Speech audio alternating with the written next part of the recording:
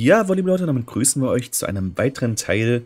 Wenn ich wir sage, meine ich, dass ich unterwegs bin mit dem guten Dorengard. Genau, und heute werden wir die Kamele testen, denn letztes Mal haben wir schon die Handkanoniere getestet gehabt, da haben wir ein Duell der Handkanoniere gemacht. Allerdings nicht Handkanoniere gegen Infanterie, was ja normalerweise der normale Verwendungszweck ist, sondern wir haben Handkanoniere gegeneinander antreten lassen und haben herausgefunden, dass die Hindustani extrem stark dabei sind. Ähm, aber auch Italiener, wenn man den Wirtschaftsbonus reinrechnet. Genau, und heute ähm, mhm. werden wir bloß Gojara und Hindustani testen. Es gibt natürlich noch andere Völker, die an sich zu erwähnen wären, wie Berber oder Sarazenen oder auch Malier, die ja auch sehr starke Kamele haben. Aber ich denke, ähm, dass wir eigentlich schon ziemlich klar sagen können, dass das Rennen dort zwischen Gojara und Hindustani entschieden wird. Und deswegen werden wir heute bloß diese beiden Sifs testen. Genau, im ersten Test werden wir erstmal die Kamele gegeneinander antreten lassen. Ähm, beides in Admiralzeit. Ähm, einmal vor dem Upgrade zum imperialen Kamelreiter und dann danach. Und dann werden wir beide nochmal gegen Paladine antreten lassen. Genau, es wird also interessant werden. Und in dem Sinne machen wir gleich einen kleinen Cut und dann springen wir schon in den ersten Test mit rein, liebe Leute. So, liebe Leute, da sind wir auch schon wieder im Spiel mit drin. Wir haben jetzt 50 äh, und 50 Kamelritter ausgebildet. Ähm, genau, also meine haben jetzt natürlich ein bisschen mehr Angriff. Die haben, äh, achso, ich habe noch normale Kamelreiter. Einen Moment, einen Moment. Das Beben war. So, jetzt haben wir beide schwere Kamelreiter, äh, die wir an den Start geschickt haben. Meine sind ein bisschen besser von Stats, äh, weil die 7 plus 4 Angriff haben. Äh, Twans haben plus 7 plus 2, weil der Schmelzofen fehlt. Aber, ähm, wir haben dafür auch noch zwei Sith-Boni. Ähm, genau, also bei mir ist halt, dass die Kamelreiter schneller angreifen, 20% schneller angreifen. Und bei den äh, Goyaras ist es dann der Vorteil, beziehungsweise der Bonus, dass äh, die Kamelreiter nochmal plus 40% extra Schaden geben. Und ich denke, das kann schon ein ziemlich interessanter Kampf werden. Also ich weiß tatsächlich jetzt noch nicht ganz, wie es ausgehen wird. Die einen greifen halt 20% schneller an und haben zweimal Angriff, die anderen machen mehr Bonusschaden. Ich könnte mir vorstellen, dass es für beide Seiten äh, siegreich ausgeht. Ich denke aber, dass es auf jeden Fall ein ziemlich knapper Kampf werden sollte. Ähm, wie sieht es bei dir aus? Denkst du das auch? Oder denkst du, dass es ähm, eine Seite klar gewinnen wird? Ich kann das nicht genau sagen. Also, ich würde sagen, es wird äh, ausgeglichen sein. Aber wir werden sehen. Gut, dann würde ich jetzt auf drei meine Ganzeinheiten auf Aggressive Stance setzen und du auch bitte. Und dann schauen wir einfach gleich, wie das gewinnen wird. Klar. Zähl auf. Eins, zwei und drei. So, da laufen sie los und kämpfen gegeneinander. Das sieht erstmal für mich relativ gut aus, aber ich glaube, bei dir haben einige Einheiten auch ein paar viel Probleme. Also viele kämpfen gar nicht tatsächlich. Das sieht also ein bisschen sehr unfair aus für meinen Gunsten, aber ich glaube, es ist immer noch ziemlich gebalanced. Also du hast auch noch einige Kamele, die am Start sind. Das wird auf jeden Fall, wie schon vorausprophezeit, ein ziemlich knapper Kampf. Und tatsächlich sollten die Hindustanis das gewinnen, ziemlich knapp. Oder doch nicht? Du hast noch zwei Kamele, ich habe noch ein Kamel. Oh, ich habe. Äh, ach nee, jetzt habe ich noch zwei übrig.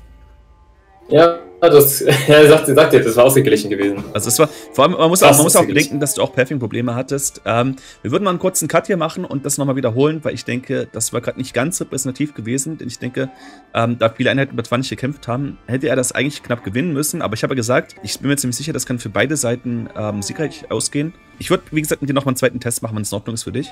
Ja, klar. Eins, zwei und drei. So, mal gucken, wie es diesmal ausläuft. Gerade war es halt auch ziemlich knapp gewesen.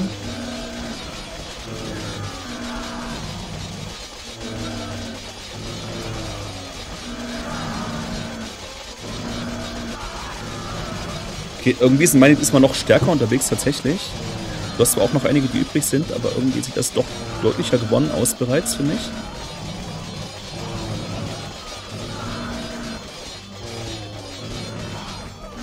Mhm. Uh, das, das, okay, jetzt ist deutlich. Das, ja. das waren es einige gewesen. Also, das ist schon wieder verrückt, wie das hier abweicht. Das war schon mit den Handkanonieren im letzten Test folgt. Also, wo wir die Spanischen getestet hatten. Einmal haben 23 überlebt, mhm. mit vollen Lebenspunkten fast. Und äh, das andere Mal haben 8 überlebt gehabt. Also, es war auch eine riesen Varianz zwischen den Tests gewesen. Ähm, du hast jetzt einfach ganz normal okay. Aggressive eingeschaltet gehabt, oder? Ja. Okay, also es ist wirklich sehr, sehr merkwürdig, wie teilweise die Ergebnisse extrem stark auseinandergehen können. Also ihr seht auf jeden Fall, dass äh, Pathing in diesem Spiel äh, ein Thema ist. Das kann also so oder so ausgehen, aber ähm, auf jeden Fall, da die, äh, da die Hindustani einmal knapp gewonnen haben und einmal sehr entschieden gewonnen haben, würde ich sagen, ähm, dass bereits vor dem Upgrade zum Imperialen Kamelreiter ähm, die Hindustanis da die Nase vorne haben. Kann man das sagen? Kann man schon sagen. Ähm, genau, ich denke auch, die Hindustanis sind an sich ein bisschen die bessere, die bessere Sith. Jetzt haben, jetzt haben sie die besten Kamele und auch noch die besten Handkanoniere, also das ist schon verrückt. Und Husan haben sie auch noch und, wobei Hellebardier haben, haben sie nicht weggenervt, aber äh, sonst haben sie auch einen relativ guten Tag-Tree.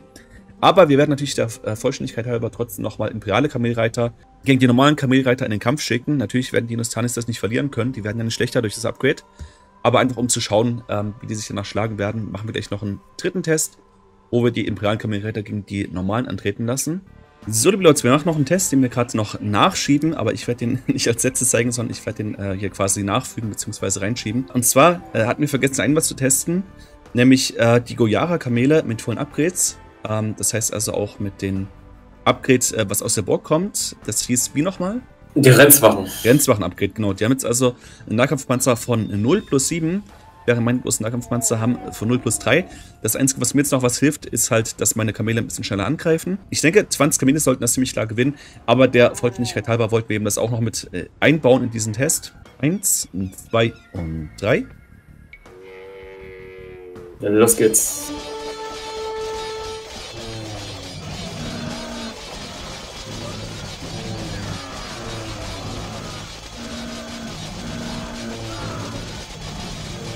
Mhm. Ja, das ist schon sehr deutlich. Ja.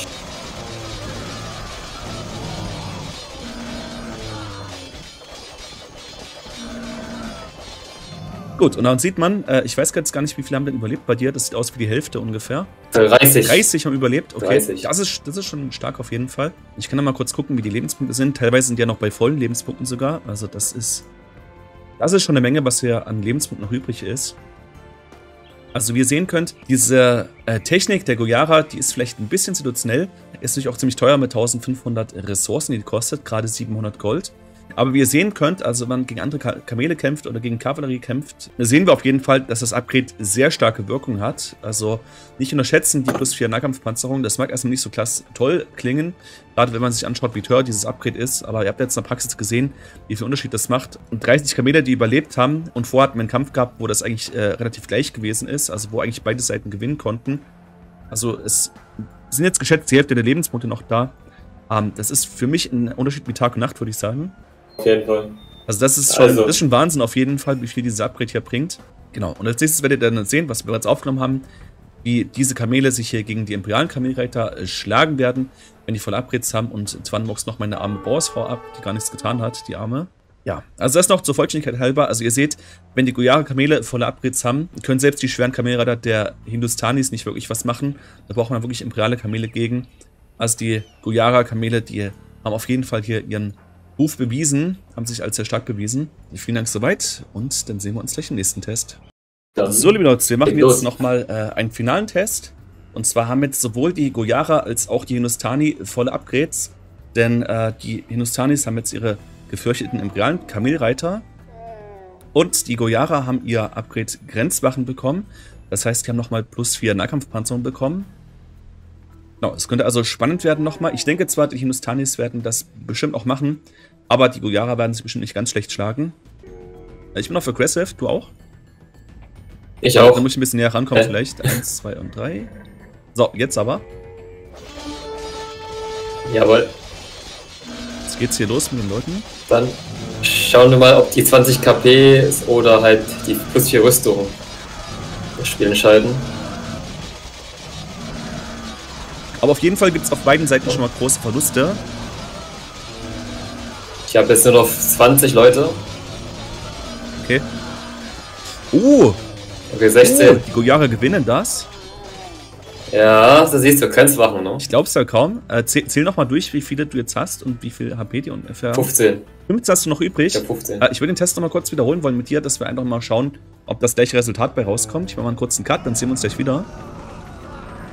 So, liebe Leute, wir wiederholen gerade den Test nochmal. Gojara-Kamele gegen Hindustani-Kamele. Genau, auf drei geht's los. Eins, zwei und drei. So, uh, bei dir wollen einige nicht kämpfen.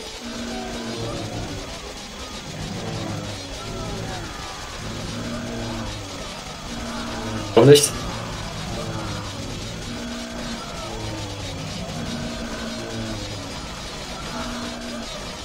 Sieht gerade ein bisschen mehr gebalanced aus. Ja, ja, das sehe ich auch. Aber eigentlich müsste ich sogar gewinnen diesmal. Oder knapp wird es auf jeden Das Fall. sieht gut für dich aus. Das sieht gut für dich aus.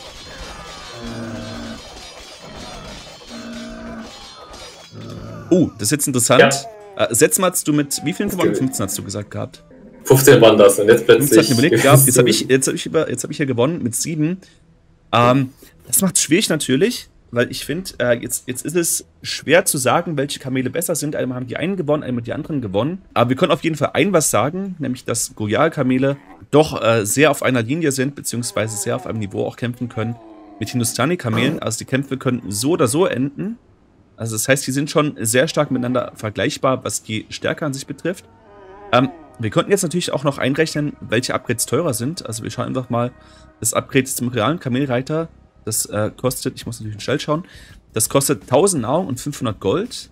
Bei den Goyaras, das Upgrade jedoch für die Grenzwachen, das kostet 800 Nahrung und 700 Gold. Also das eine kostet 1500 Ressourcen, das andere kostet 1500 Ressourcen. Wobei bei, bei den Goyara ist noch ein bisschen goldintensiver und Gold ist natürlich ähm, auf lange Sicht eine wertvollere Ressource als Nahrung, das ist klar. Also ich finde es auch sehr schwer zu sagen, was natürlich da ähm, das beste Upgrade ist. Ähm, wobei halt Goyara ist halt ein bisschen teurer und vor allem ähm, die imperialen Kamelreiter haben halt auch mehr Lebenspunkte und mehr Angriff. Heißt also, wenn die gegen irgendwas kämpfen, was jetzt keine Kamelreiter sind, wie zum Beispiel Bogenschützen, würde ich sagen, dass doch die Oder Schießpulver. Hindustani- oder, oder Schießpulvereinheiten, dass äh, doch auch die Hindustani-Kamele da deutlich besser sein sollten. Aber auf jeden Fall sind die relativ nah auf einer Ebene, die können sich doch miteinander messen. Äh, Ich finde das auch jetzt interessant, dass dieses Upgrade nochmal so viel gebracht hat, diese plus 4 Nahkampfpanzerung, weil ich eigentlich gedacht hätte, Ja. dass ein Großteil des Schadens durch Zusatzschaden entstehen würde. Weswegen ich jetzt gedacht hätte, die Rüstung, die jetzt die Guara bekommen, das sollte jetzt nicht so den großen Unterschied machen, aber tatsächlich ist dieses Upgrade doch stärker, auch im Kampf gegen andere Kamele, doch stärker, als ich das zumindest gedacht hätte. Also ich fand es überraschend jetzt, wie, wie sehr dieses Upgrade reingehauen hatte. Hast du noch irgendwelche Gedanken zu diesem Experiment, was wir gerade gemacht haben? Ja, ich würde sagen, diese Unterschiedlichkeit der Ausgänge der Kämpfe erkläre ich mir selber nur durch das Passing. Beim ersten Kampf hatte ich wahrscheinlich mehr Glück beim Passing gehabt. Diesmal hast du mehr Glück Mhm. gehabt. Ähm, wie war es eigentlich übrig gerade? Also sind sieben Mann Ich, hab- habe sieben, äh, zwei sind unverwundet, aber ich habe auch äh, vier, die schon ziemlich tot sind. Also da hat einer 27 Punkte, der nächste hat acht Mhm. Punkte, dann haben wir noch einen mit wahrscheinlich acht Punkten, ja, genau. Also die sind schon ziemlich fertig, also da hast du deutlicher gewonnen gehabt als ich auf jeden Fall. Genau. Ähm, Beim letzten Kampf waren es da 15 gewesen auf meiner Seite. Also man, man sieht, das kann nur. Also ich erkläre es mir mit dem Passing. Wie Kamele sich halt bewegen. Mhm. Dass es zu dieser Varianz kommt. Und was hältst du von dem Upgrade? Ähm, fandest du es jetzt auch erstaunlich, dass es so viel gebracht hatte? Oder würdest du eher sagen, du hättest es auch erwartet, dass es so einen großen Unterschied macht? Also ich habe schon erwartet, dass die plus 4 Nahkampfrüstung schon was eingebracht hat. Also Kamele, schwere Kamele sind sowieso sehr bulkig, sage ich mal so, im Vergleich zu anderen Einheiten. Und ja, also ich habe schon erwartet, dass das natürlich nochmal das Gewicht auf der Waage sein wird im Kampf gegen die imperialen Kamele. Mhm. Ja, was jetzt natürlich interessant wäre, wäre nochmal zu testen äh, gegen andere Einheiten. Das wäre aber nochmal Content für ein ganz eigenes Video. Ähm, denn ich könnte mir Ja. gerade vorstellen, gerade gegen Husaren, besonders wenn das so Husaren sind, äh, die nicht einen Schmelzofen haben, wie die Gojare eigenen Husaren oder die koreanischen Husaren. Ich meine, wenn man, wenn man halt einen Nahkampfpanzer hat von 7, man nimmt bloß einen Schaden Mhm. von 2. Ich würde jetzt einen Schaden nehmen von 6 tatsächlich. Also ich äh, würde, jetzt, Okay. würde jetzt 9 minus 3 Schaden, 6 Schaden nehmen. Ich würde also das Dreifache an Schaden nehmen.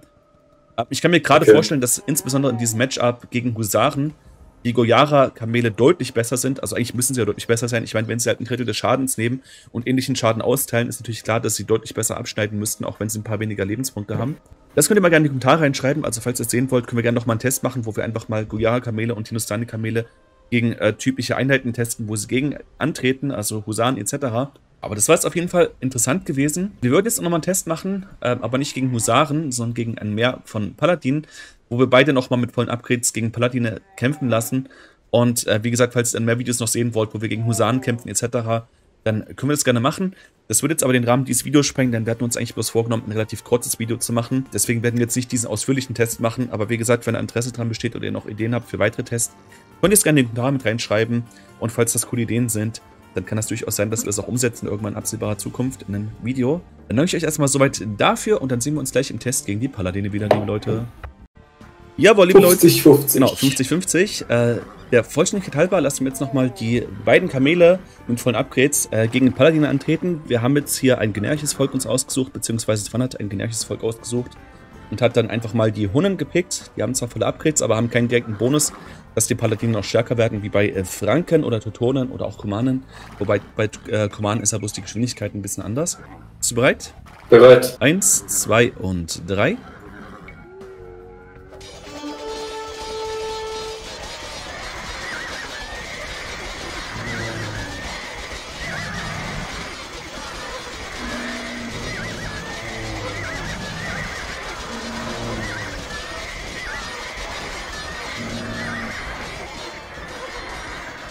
so, und da würde ich sagen, da haben die äh, hindustanischen Kamele ihren Wert bewiesen.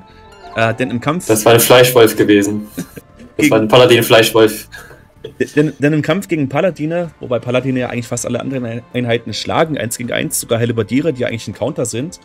Äh, Im Kampf gegen Paladine haben jetzt äh, von 50 Kamelen 36 überlebt. Und wenn man auch noch bedenkt, dass Kamele auch noch ein Stückchen günstiger sind als Paladine, wo Paladine immer noch 135 Ressourcen kosten und Kamele kosten bloß 115, also 20 Ressourcen weniger, haben die Kamele halt ihre Stärke gezeigt. Also jetzt haben wir 36 überlebt. Viele haben auch noch volle Lebenspunkte. Also da sieht man auf jeden Fall, gerade wenn man äh, mit einer Zivilisation spielt wie Hunnen oder Spanier oder Ungarn, die sehr auf Kavallerie setzen, also wenn man dagegen ein Kamelvolk spielt, sind Kamele auf jeden Fall eine gefährliche Waffe und gerade die imperialen Kamelreiter wollen sich hier sehr gut schlagen. Wir werden den gleichen Test gleich mal wiederholen mit Goyara-Kamelen gegen äh, generische Paladine. Genau, damit ihr auch das nochmal gesehen habt. So, jetzt sind wir schon mal im finalen Test. Jetzt lassen wir nochmal 50 Paladine gegen 50 Kamerita antreten. Wie ihr sehen könnt, habe ich jetzt die Goyara. Ich habe auch wieder volle Upgrades, also habe 0 plus 7 Nahkampfpanzerung. Beim vorigen Test habt ihr gesehen, dass äh, fast 40 imperiale Kamerita überlebt haben. Jetzt werden wir gleich im nächsten Test äh, sehen, wie es bei den Goyaras laufen wird. Auf 3 geht's los. 1, 2 und 3. Ja, und wir werden nicht sehen, ob die Goyara sich noch besser schlagen tatsächlich oder ob die etwa äh, gleich sind mit den hussanischen Kamelen. Aber es sieht schon wieder sehr, sehr entschieden jetzt schon gewonnen aus für die Goyara-Kamele. Also die machen guten Schaden hier auf jeden Fall.